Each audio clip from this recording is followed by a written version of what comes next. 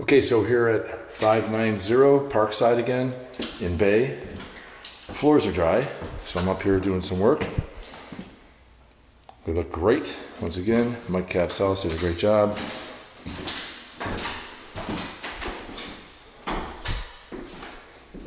So now we have to put shoe molding down. That's about it, some paint touch up in these upper rooms. And in the bathroom, we need to put um, a toilet seat on and, and grab the toilet tank lid and then put the shower doors, just hang them in. We took them out, I didn't want them getting banged up.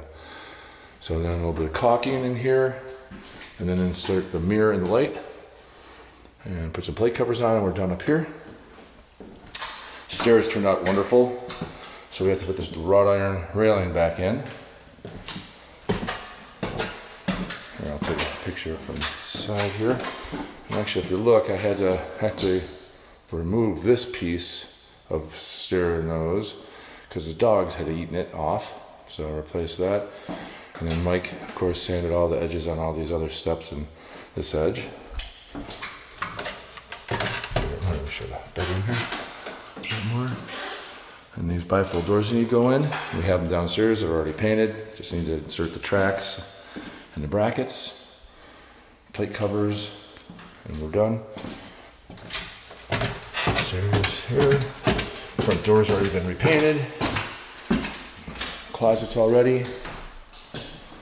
These floors turn out good. Let me show you this treads from this angle.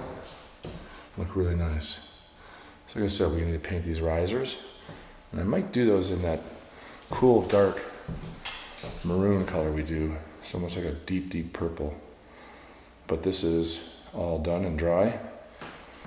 Fireplace, we still need to do a final coat across this bead board. And of course put the shoe molding down and put vent covers in.